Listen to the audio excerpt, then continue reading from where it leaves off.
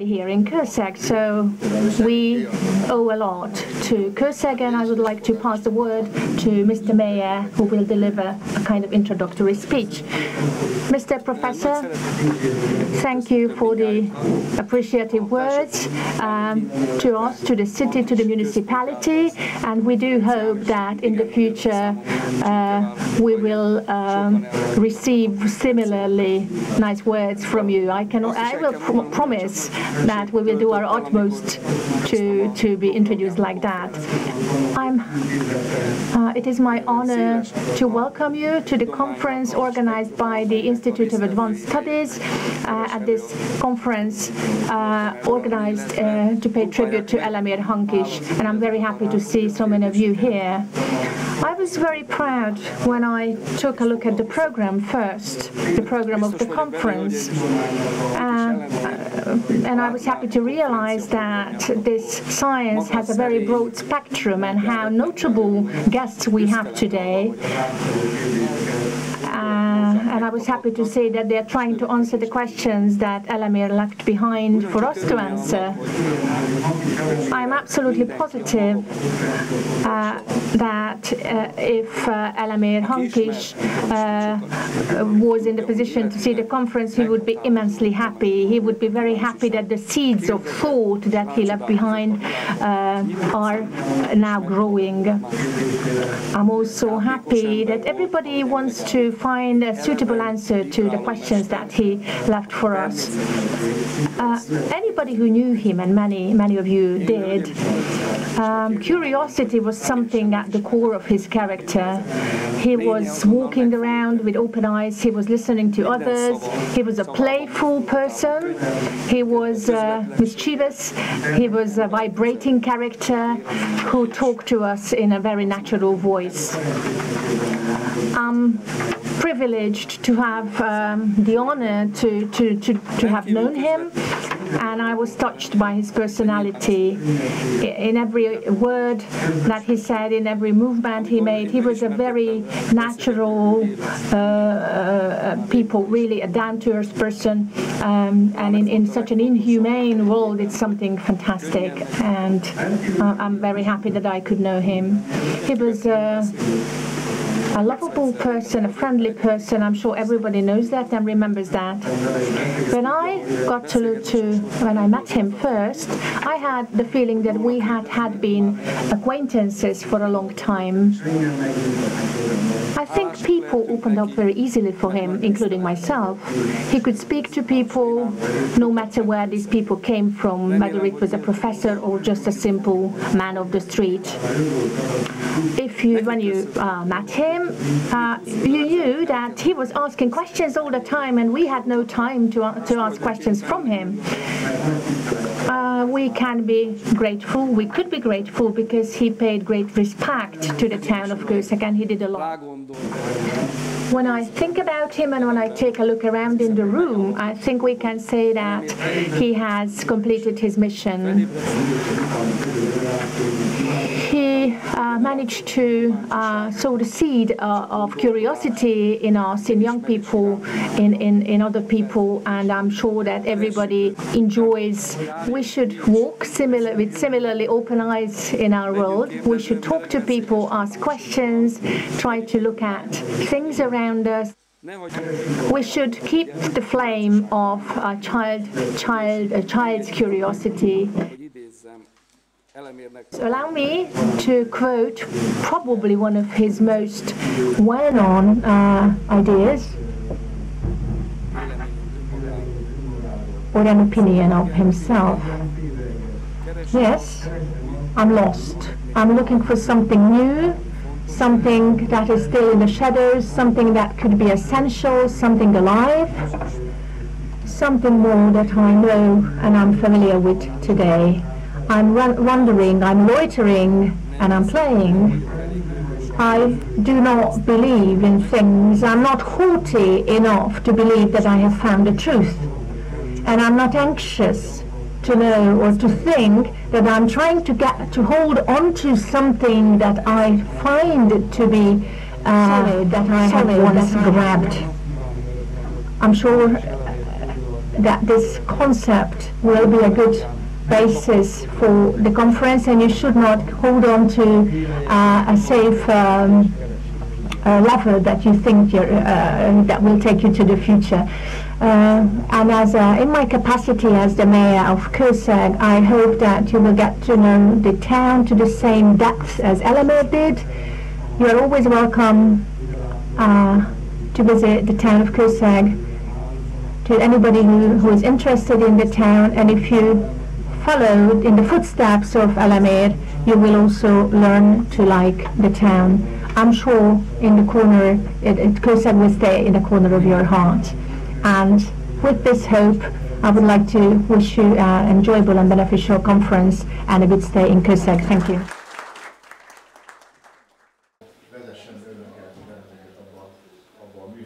I would like to give you a little bit of an introduction to the workshop that we experienced back then. 20 years ago, 15, 10 years ago, we actually put down on paper a lot of things that we could not realize.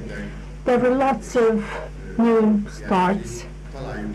Uh, we invented and then reinvented things along with Elemér. And one of my wonderful friends who was also a good friend of Elemér. Family, because of a family uh, problem, he had to stay. Uh, but he left, uh, he sent me uh, his, his text and allowed me to read some excerpts of it. So, to the memory of Elemér Hankiss, we are now remembering a scientist and a thinker who was looking for the truth during all kinds of social explosions and transitions and changes. He retained the freedom of his spirit, uh, consequences and depth. He finally got to the truth, but he didn't do this in order to become wealthy or powerful. It might be a good feeling for those who were friends of his because we could understand each other. It was a wonderful time that we spent at the Institute of Sociology. We always found uh, a shared root and we always uh, valued and honored the others. First, he uh, dealt with literature and then with social issues, but then he arrived uh, in the sphere of philosophy and from literature he transferred his interest to uh, in society. In 1985 he um, developed the concept of two Hungaries. In this concept he summarized theories um, which was developed by a very a large number of uh, famous Hungarians, including the poet Berzsenyi, the politi politician Széchenyi, uh, and Kossuth, and um, he sort of described a kind of personal truth. He said that every nation has a kind of capitalism as its feudalism was.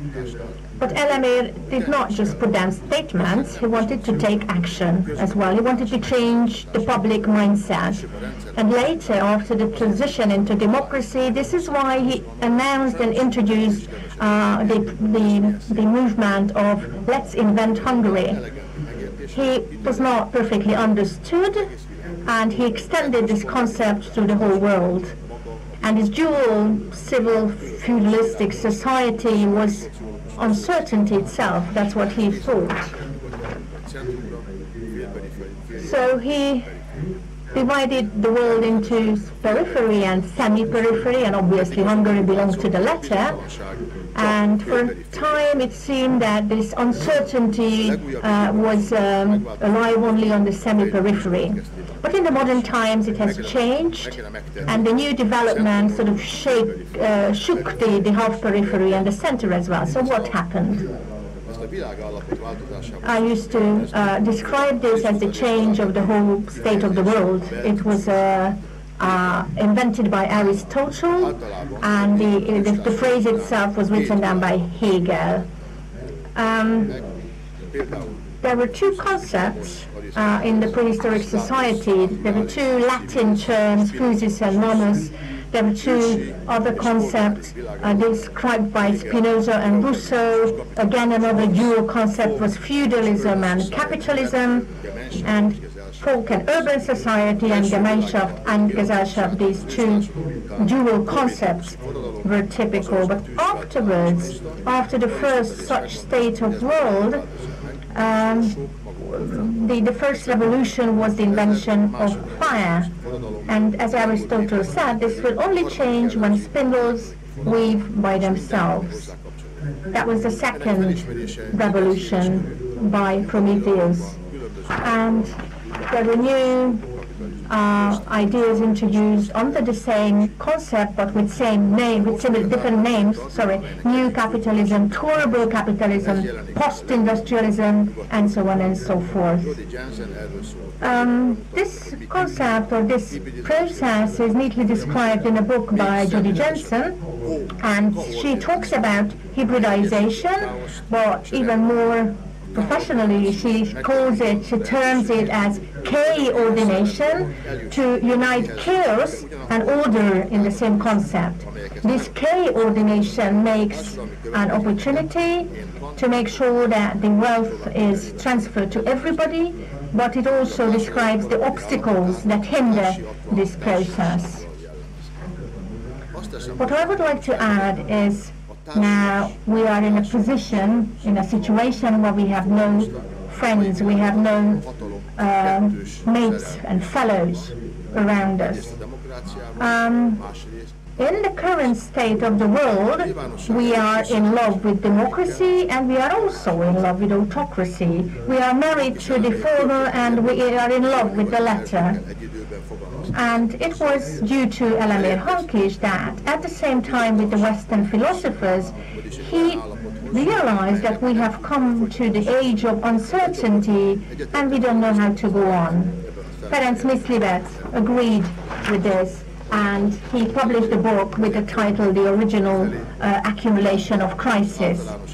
And this is why Elemér decided to turn to philosophy because he believed that with the, uh, the, the, simple words of crisis and, and economy, uh, the processes cannot be described. So he was looking for certainty. He was looking for for for something, uh, but he simply realized that we are at a point, at a stage where, where, where you need to find a balance between certainty and uncertainty. It's an ingenious book, another um, proof of Elemér's value. We have lots of uh, social scientists here, but in some, I would like to say that in the past 40 years, he was one of the greatest spirits in the field of social sciences. He was the one who could talk about fantastically comprehensive issues. Uh, he was he did not receive the uh, attention that he would have received. So it's up to us that we continue his work. Iván Vitányi.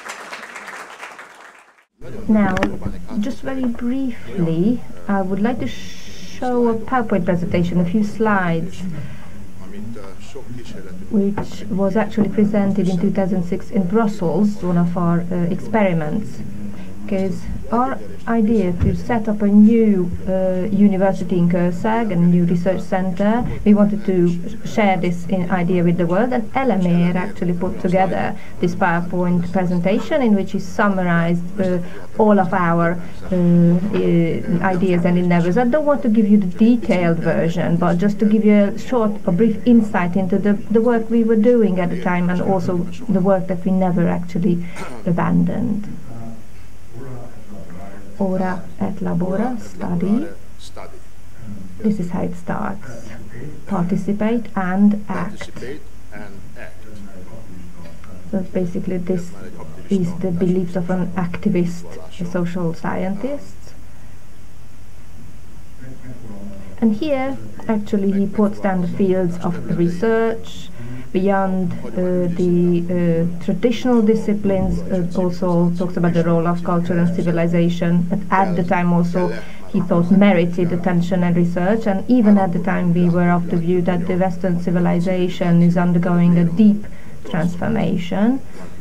That was about 11 or 12 years ago, actually. So here are, here are the uh, questions. decline, crisis, de-civilization, hybridization, creolization, beyond good and evil, hedonistic world.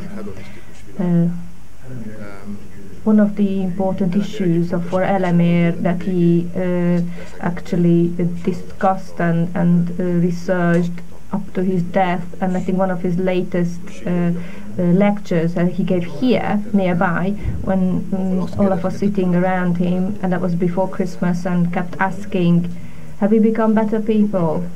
Uh, throughout the, the year that we spent in Kőszeg. And I'm about to ask my colleagues actually uh, the same question. Actually, do our lives have a goal uh, or a sense? And these questions he put forward in such a way that uh, you can't shake these off actually. So that was a very exciting mixture of wisdom and knowledge that he created.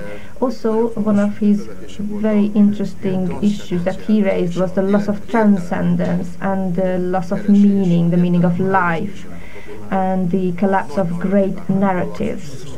And I could go on. Actually, I don't want to uh, go into detail. we were all very interested uh, in whether after a period of deconstruction there is is there a period of reconstruction? So, uh, can we see a new European construction and with what means and instruments? Is there a possible uh, uh, synthesis between traditional and emerging new uh, attitudes and values and norms of conduct and mentalities? or life strategies. So, what kind of mentalities are characterizing these uh, life strategies? What are our visions of the world? We uh, thought very highly of these issues, and he always stressed that in every field of life you have to be able to answer these questions uh, in politics, in uh, government, in uh, science, uh, in social studies, etc. One of uh, his favorite comparisons was actually uh, just to look at the messages from the Bible, the Ten Commandments, and uh, today's values. So the, it speaks for itself, actually. So be modest in comparison to be successful, or uh, discipline yourself, enjoy yourself, save, be thrifty, consume versus consume. And he very uh, uh, descriptively uh, was able to to put this uh, in comparison, and all this actually suggested to be included in the topics and the uh, curriculum of a new university. So let's just move beyond the usual uh, disciplines and, and discuss these issues as politologists, um, economists, philosophers, etc. He was very knowledgeable on images, uh, the comparison of all the new images, just to illustrate what uh, I showed you before, so what we were like and what we've become. This on the left is a, a, a modest drawing of a, a car from uh, early 20th century compared to a modern car. He also talked a lot about uh, super individualism, almost like a religiousness of egoism.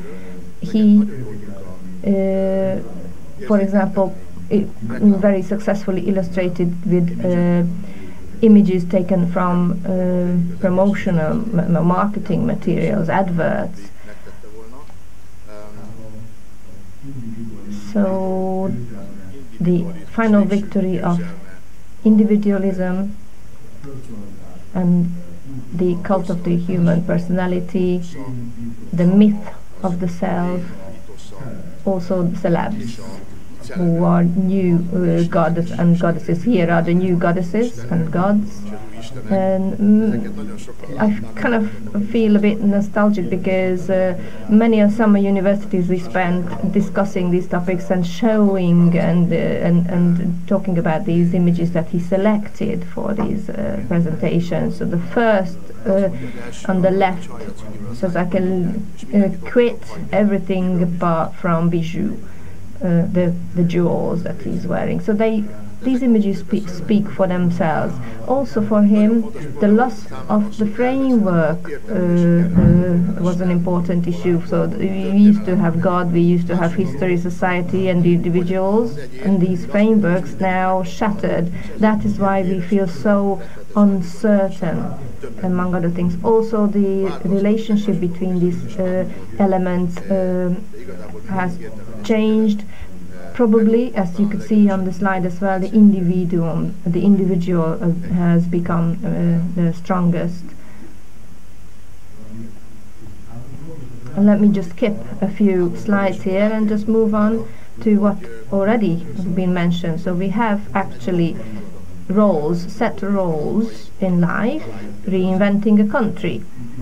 And as Iván Vitányi also mentioned, it, uh, this was not very successful. All politicians laughed at us, all the parties, political parties, said, laughing said that even uh, St. Stephen came up with this. Uh, why do we have to reinvent it again? And the media ignored it or even ridiculed it.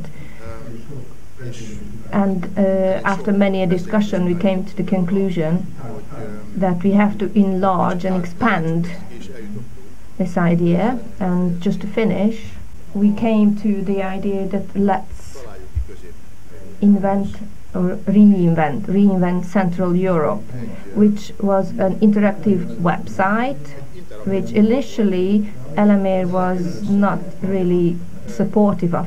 But in the end, he was the most loyal and enthusiastic edit. Actually, started different topics, for example, on this website entitled "I Had Enough" or "We Had Enough." Uh, that was the title of it, and actually things that you had enough of were acts of the police, etc., and you could include it here. And interestingly, we thought nobody would be bothered apart from a few students or friends. And then uh, illustrious and famous personalities. Uh, Michael Lane, for example, uh, was uh, Thomas Glazer, who were uh, EU ambassadors, also Philip Smith, uh, social scientist here with us, Philip. Maybe if he wakes up. he's mentioned. there you go. So this this was on the move. It was uh, moving. It was uh, live. We published short articles. Others also came to publish here, and also there was a business. Uh, uh group, I think it was Carpathia uh, uh, Foundation, who supported it, financed it. Um, fortunately, uh, Uh, we couldn't become uh, Soros support, uh, receive Soros support, uh, uh, so we had to discontinue this website. But based on yesterday's and previous experiences, I think we have to go back from the Gutenberg galaxies to the Zuckerberg galaxies. So, okay, we take hard copy books to bed with us, but actually uh, we had a long discussion about Eastern Europe uh, in, uh, in, English. Actually, thinking about the traditional workshop that we, that is very necessary, and it's important to see fa face to face, argue, disagree, even, but we see each other, we feel each other's presence, we see each other's body language, the importance of that. How can we link that to a much um, mm, sort of uh, different or remote uh, kind of uh, environment. Uh, the creative town, for example, that we came up with, uh, which uh, was supported by the government, and here Kőszeg, within a CAT project, started the creative town project which is not only just a few buildings given back to town, like this one, this has such a brilliant atmosphere, but anybody who comes in here can learn uh, what they're seeing, because uh, uh, the problem with these cities usually okay, we visit them, we take a walk, we have a glass of wine or eat something, but there's no signs, we don't know what we're seeing. But if we can stop in front of uh, a house or a building and we have a mobile app, for example, in five languages that gives us explanations and information, that's completely different. So that's the concept for the future university. Also, university should be uh, thinking outside of the box or actually physically jump outside of the box. So just to uh, shot a couple of thousand people in uh, a, a, in a campus, that's not enough. You have to communicate knowledge to a much wider audience. This is, as we say uh, in English, outdated. I'm sure that it's not just a matter of will, let's share knowledge. No, uh, the publications that we care for and love take ages to to publish, edit but technology provides much faster access. Yesterday, for example, we had the the uh, talk, but it was already screened uh, live, streamed live, whereas a publication to sum up uh, the lectures would take uh, months or years to prepare. So actually, uh, now since uh, some people cancelled their presentation, we now have more time, which is a positive thing. So now, thank you.